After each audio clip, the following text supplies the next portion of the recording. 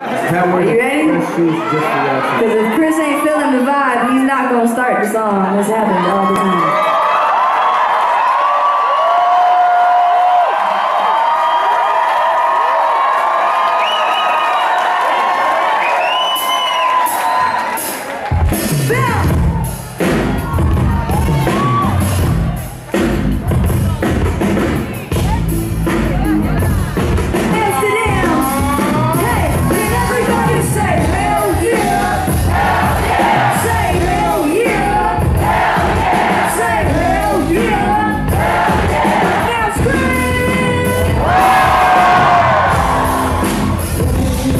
Scream.